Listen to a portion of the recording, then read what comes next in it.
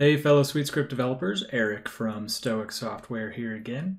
In this video, we continue our exploration of NetSuite searches by looking at a more general NetSuite concept called the mainline search filter. Now to coincide with this series of videos on searching, I have also created a series of cookbooks focused on searching. So if you are tired of NetSuite's unrealistic, often broken examples, then these cookbooks are definitely for you. Uh, you will find a link to all the details on the cookbooks at the top of the video description. All right, let's get started. The mainline filter is an extremely important concept to grasp in order to build effective transaction searches in NetSuite. Now, our exploration today does not require a lot of code, um, we'll pretty much be exclusively demonstrating this behavior uh, in the UI. Now, before we define what mainline is, let's start with a demonstration of NetSuite's default behavior for transaction searches, as it can actually be quite confusing. First, let's start by looking at the list of all the sales orders in this account by going to Transactions, Sales, Enter Sales Orders, List.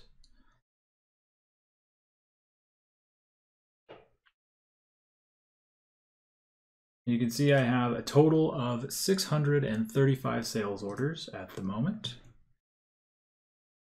Now what happens if we search for all the sales orders in this account. I'm going to open up a sales order search. I'm not going to add any other filters to it. And I only care about a few fields. So here I get 2,473 results. Now, how is that possible? If we look at these search results a little bit closer, we can clearly see what look like repeated results. So several results share the same internal ID. So these first four all have the internal ID of 18. They all have the same document number. Um, so they look like repeated results. Uh, what's going on here? This is where we need to introduce the mainline filter. So by default, in transaction search results, NetSuite includes both the body and the line level data for each transaction. Each line on the transaction gets its own search result. A mainline is a search filter available on transactions that lets us control this default behavior. So it gives us the means to specify whether we want both levels of data, only the body data, or only the line data. When we looked at this list of all the sales orders in the account, so not the search, but just the list, uh, NetSuite was showing us just the body level data. So there are 635 sales orders, thus there are 635 sales order bodies when we did our subsequent search, we did not specify a mainline filter, so NetSuite was showing us all 635 bodies plus all of their line items as well. And so that is what's causing the discrepancy in the numbers. So if we want to get our two lists to match up, what we need to do is add a mainline filter to our search so that it only shows us the body level data.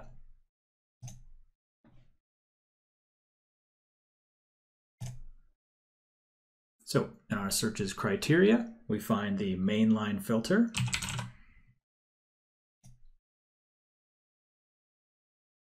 The mainline filter is considered a checkbox, so we can specify it as true or yes, uh, which means checked, or we can specify it as false or no uh, or unchecked.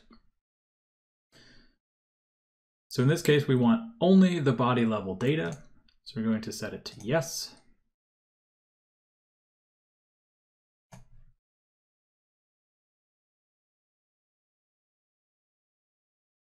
And now we can see that our number of results matches the number of sales orders that are actually in the account. So what happens if we reverse that filter?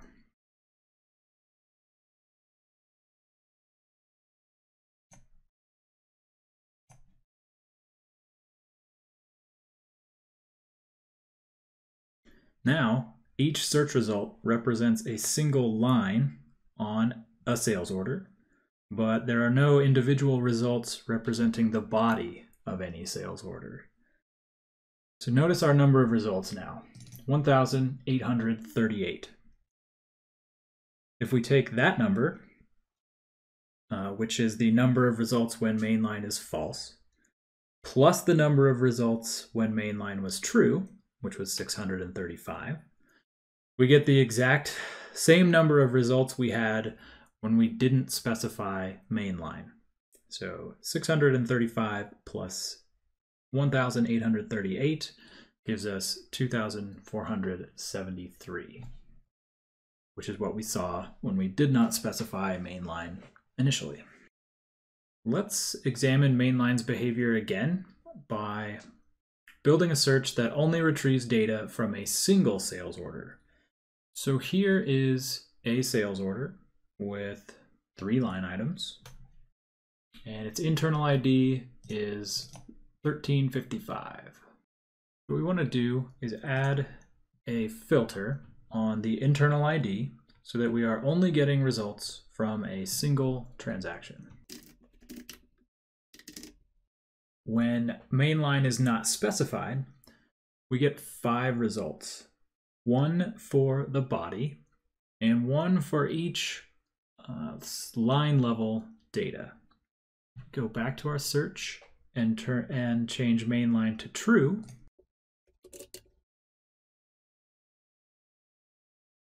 When mainline is true, we get one result for the body of the transaction. And because I am only retrieving body level data, what happens if I try to add line level data to my results? Let's add a search column for quantity, which is a line level field.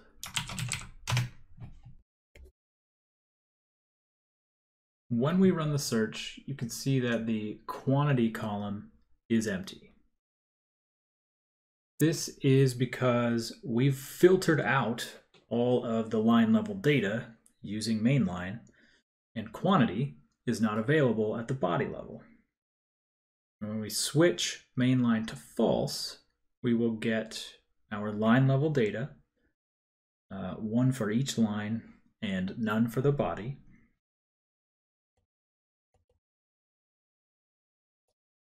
You'll also notice that now the quantity level is, or quantity column rather, is populated. And note further that the body level fields do still populate regardless of whether mainline is true or false. Now you'll notice one of these quantities is negative 1.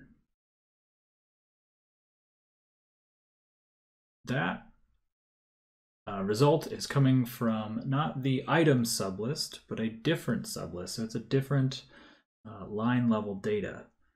There are several other filters similar to mainline we can use to filter out which sublists uh, our search results include data from.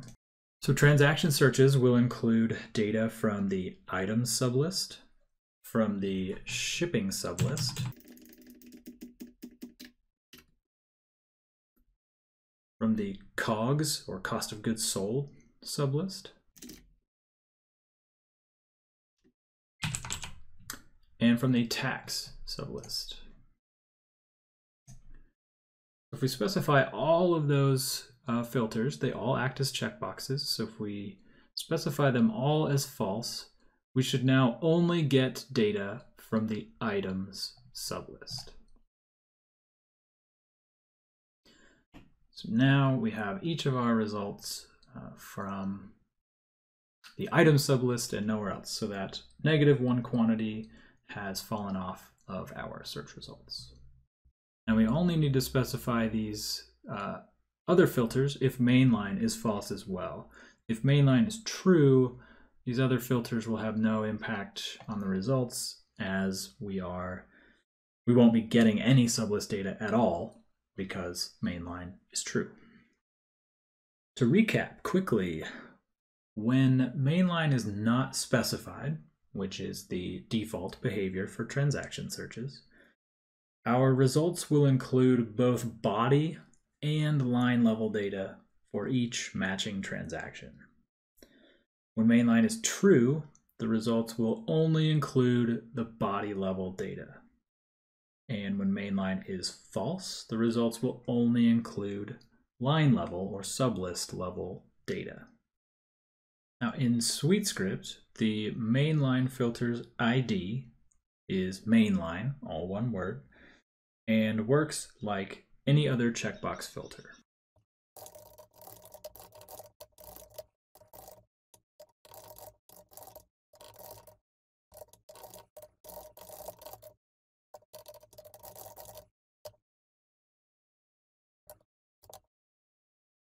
So if we look for all sales orders and only the body level data, we get our 635 results.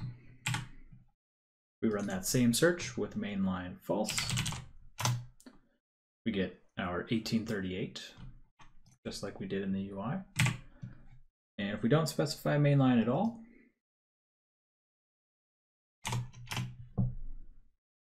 there is our 2473, just like we saw previously. Now, as you can see, the mainline filter can be a bit confusing, uh, but it is critical to building useful and effective, uh, accurate searches in NetSuite. So if you're looking to accelerate your mastery of searching in NetSuite, make sure you check out the cookbooks link down in the video description. That's it for this lesson. If you liked what you saw, hit that thumbs up button and go share what you learned with somebody else. Um, click subscribe to stay tuned to all of our videos on SuiteScript. And thanks for watching. Keep learning, keep sharing, and I will see you next time.